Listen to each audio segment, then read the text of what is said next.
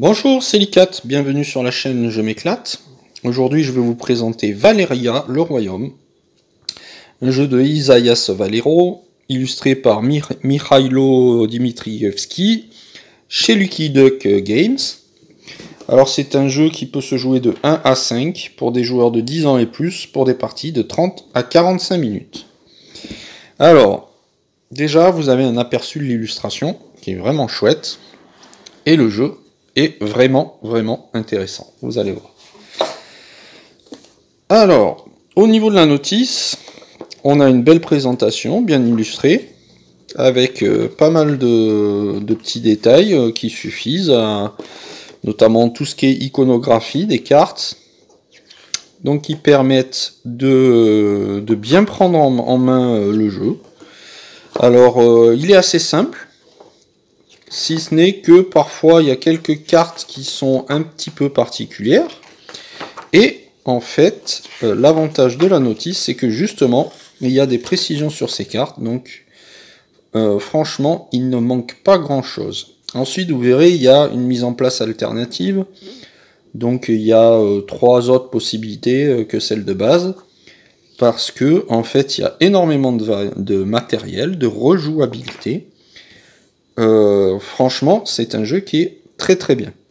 Alors le principe, c'est on est des ducs. Nous allons incarner des ducs qui vont essayer de prendre la place du roi. Et pour ce faire, il faudra marquer le plus de points possible de victoire. Alors, comment ça se passe? Tout d'abord, on va voir de jolis dés. De beaux dés, classiques, de à 6 faces. Ensuite, on va avoir des ressources. Alors, vous voyez que c'est thermo, euh, thermoformé, qui a au départ de la mousse. Ça permet de ranger les cartes. Là, j'ai toute la boîte de base. Et il y a déjà la place pour les futures extensions, qu'on va pas tarder à prendre, je pense. Donc d'entrée, le matériel, franchement, avec les intercalaires, c'est vraiment, vraiment pratique. Alors, au niveau des ressources, on va avoir des petites ressources en bois, sympathiques, bien peintes, pour de l'or, de la magie, des boucliers et des points d'attaque, et on pourra avoir l'occasion de faire l'acquisition de points de victoire sous forme de jetons aussi. Donc les points de victoire violets. Alors, comment se passe le jeu? Le jeu, en fait, il va y avoir une sorte de tableau. Alors déjà, au niveau des ducs, il y en a énormément. Vous voyez, les illustrations sont sympathiques. Chaque duc va avoir une façon à lui de gagner des points de victoire. Une sorte d'objectif, de contrat. Donc, euh, par principe, alors je ne sais pas si c'est précisé ça, mais par principe, on les tire au sort. Voilà, ça donne à chaque fois un petit challenge euh, et une petite rejouabilité. Euh, bah, par exemple, je vais en prendre quand même un au hasard, pas trop, voilà. Donc celui-ci dit qu'on va gagner un point de victoire par... alors cela, c'est les combattants, je crois, ou les chevaliers. Alors en fait, tac, tac, tac. Voilà. La notice pour ça est très bien faite. Alors, on va aller chercher. Alors, ça, c'est les monstres. Hop là. Voilà, les soldats. Il y a ces, les, chaque icône est précisée. Donc, on aura un point de victoire par soldat qu'on aura enrôlé et deux points de victoire par ombre qu'on aura enrôlé. Donc, vous verrez les cartes après. Et ensuite, on aura un, point de victoire par euh, tranche de trois ressources mises ensemble. Ça peut être, peu importe, euh, deux jaunes, un bleu, euh, deux bleus, un rouge. Il faut que ça fasse trois ressources. On va faire des packs de trois ressources et compter des points supplémentaires de victoire. Ça, ça sera à la fin. Donc on va incarner ces fameux ducs. Mais comment on va faire? Alors, il va y avoir dans l'installation de la partie, on va commencer avec un chevalier, ici, avec un 6 ici qui représente le dé. Ce qui veut dire que quand on va jouer, chacun à son tour, une fois le dé, on va regarder si chaque dé est présent dans nos cartes. Donc au départ, on va avoir un chevalier, je vais le mettre et un paysan. Voilà. Donc à chaque jet, on va vérifier les faces, savoir si ça correspond à ce qu'on a. Donc par exemple ici, 2, euh, j'en ai pas, mais on fait aussi la somme des deux, 4, je n'en ai pas non plus. Si j'avais une carte avec 2, j'aurais appliqué ces effets deux fois. Si j'avais une carte avec 4, j'aurais pu appliquer ces effets. Alors, où sont les effets de la carte? Quand on est celui qui a joué les dés, le joueur actif, on vient récupérer les ressources qui sont de ce côté. Les autres joueurs, pendant ce temps, vont aller récupérer ces ressources-là. Donc pour cette carte, tout le monde va gagner une pièce d'or si on tombe sur un 5 ou un 2 et un 3 par exemple. Voilà.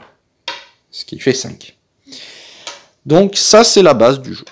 Alors, comment on peut avoir d'autres cartes Il va y avoir une sorte de, tableau avec... Alors, je vais commencer par justement ces cartes qui permettent d'avoir des, euh,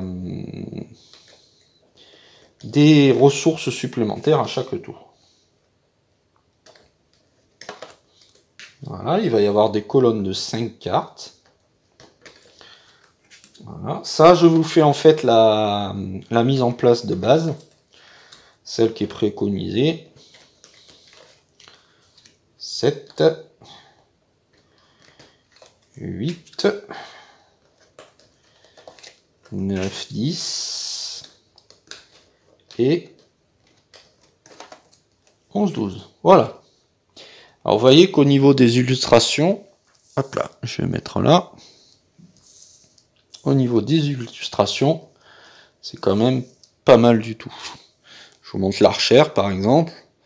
Alors, on va avoir ici le fait qu'elle représente un dé de 4 ou une somme de 2 dés qui fera 4.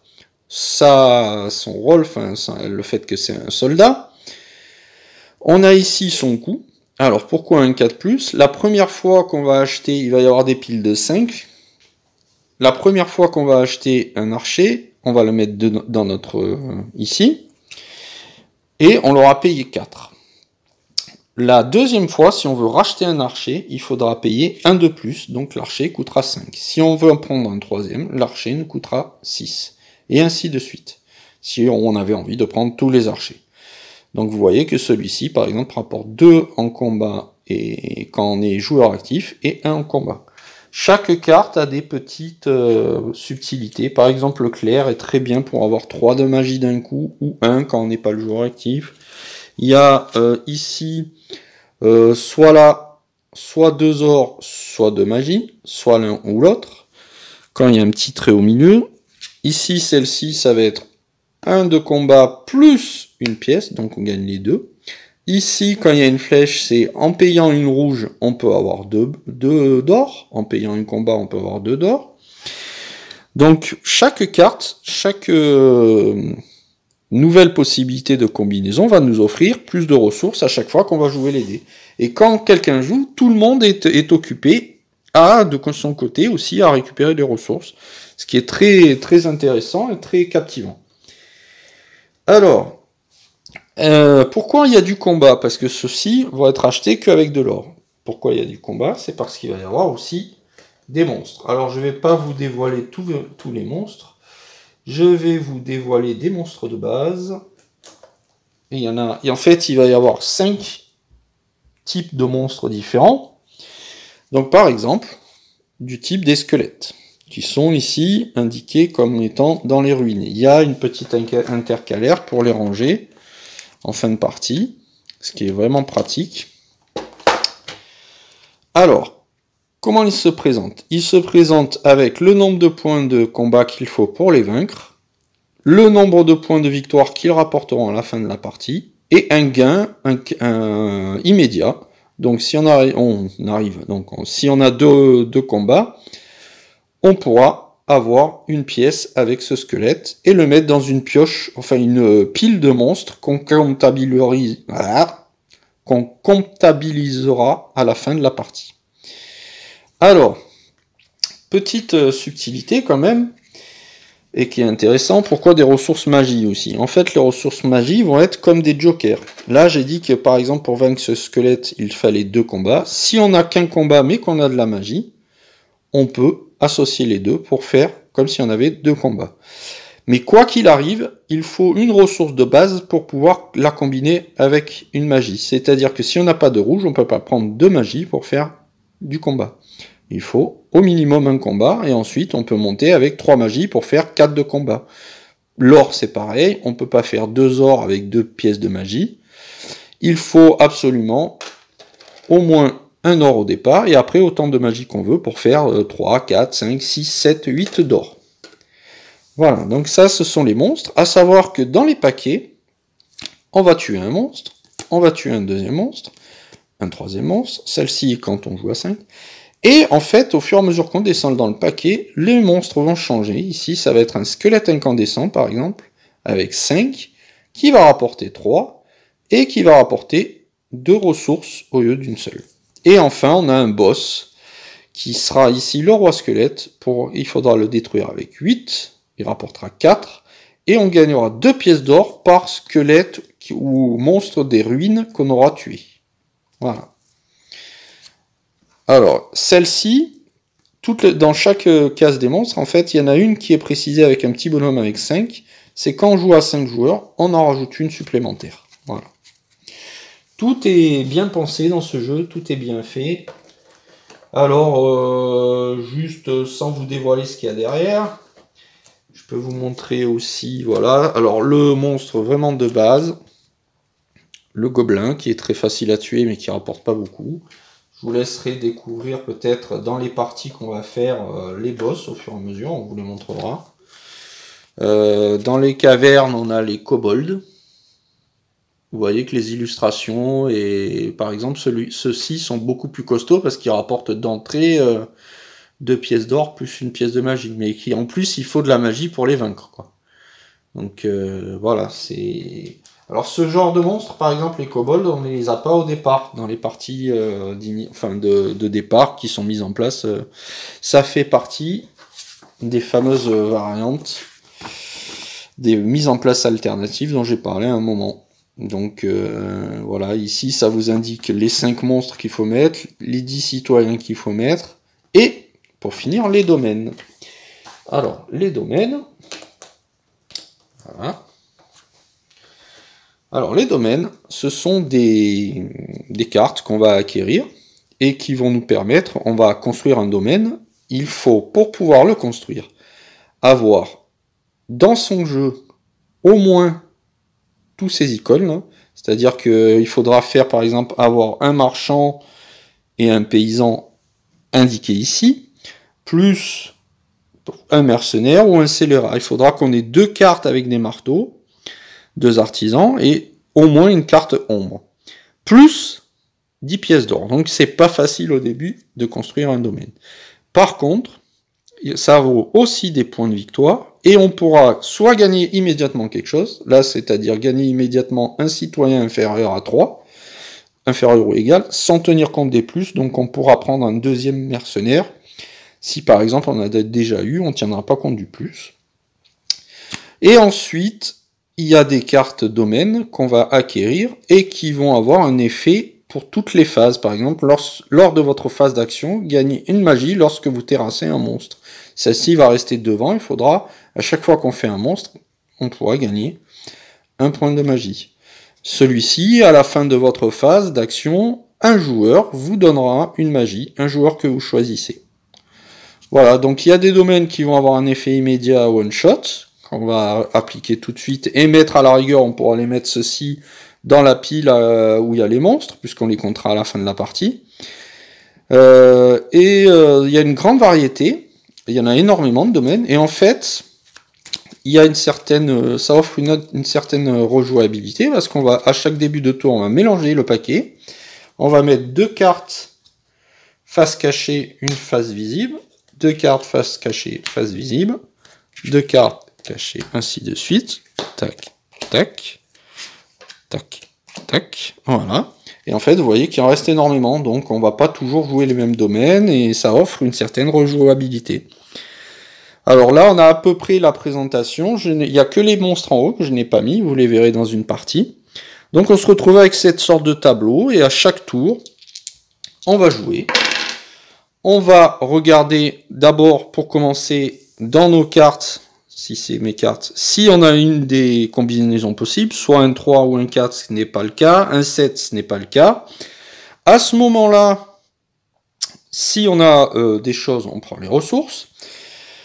Et ensuite, on va avoir deux actions possibles. Euh, dans les actions, il va y avoir soit enrôler un, pays, un citoyen, soit combattre un ennemi avec des ressources de combat, soit acheter un domaine et construire du coup un domaine, et dernière possibilité, prendre une ressource de notre choix, sauf les points de victoire bien sûr, sinon c'est trop facile, donc on pourra aller prendre une magie, une, un d'or ou un de, de combat. On peut faire les actions, les deux actions dans l'ordre que l'on veut, et on peut refaire deux actions euh, identiques. Voilà. Donc vous verrez dans la partie, franchement, c'est voilà, c'est vivant, c'est c'est très agréable. C'est le, le, principe du jeu est, accessible. C'est pour ça qu'on peut jouer à partir de 10 ans. Hein. Je pense même que euh, peut-être même un petit peu avant, ça dépend des enfants. Et puis euh, voilà, vous verrez que dans les monstres, il y en a des, c'est pas effrayant, c'est euh, voilà, c'est c'est vraiment chouette. C'est un jeu qui nous a plu. Euh, on a déjà fait une partie à 3. On a fait beaucoup de parties à 2. Et voilà, donc je pense qu'on filmera une partie à 2, 3, et pourquoi pas plus si on a l'occasion de le faire. Voilà, ce petit jeu très très bien, Valeria, pour 35-36 euros à peu près. Je vous mettrai un lien au cas où sur Philibert, toujours avec mon affiliation, si ce jeu vous intéresse. Et euh, en fait, euh, voilà, je trouve que hum, il est très bien. il va y avoir, il y a déjà des extensions qui, qui vont rajouter des citoyens de plus, des ducs de plus, des domaines de plus, des monstres de plus, qui vont venir se mettre dans la boîte qui est très bien faite pour ça. Et en fait, ça va offrir une rejouabilité et ça va apporter des mécaniques supplémentaires qui vont faire que le jeu va être encore plus intéressant au fur et à mesure. Donc c'est un très bon jeu de base avec énormément de matériel, mais il va devenir de mieux en mieux. Donc je pense que vous verrez euh, petit à petit ces extensions dans, sur la chaîne avec des parties, euh, vous verrez, qui sont très très intéressantes. Voilà, j'espère que ce petit jeu vous a plu. Enfin, un petit jeu, un très très bon jeu. Euh, je vous remercie de m'avoir suivi, de m'avoir écouté. J'espère que si vous n'êtes pas encore abonné, euh, ça vous donnera l'envie de vous abonner. Si ça vous a plu, des petits likes. Et puis surtout, euh, voilà, en ces temps difficiles, je rappelle qu'on est en avril 2021. Euh, Donc en ces temps difficiles, prenez soin de vous, protégez-vous, prenez soin de vos familles, et je vous dis à bientôt.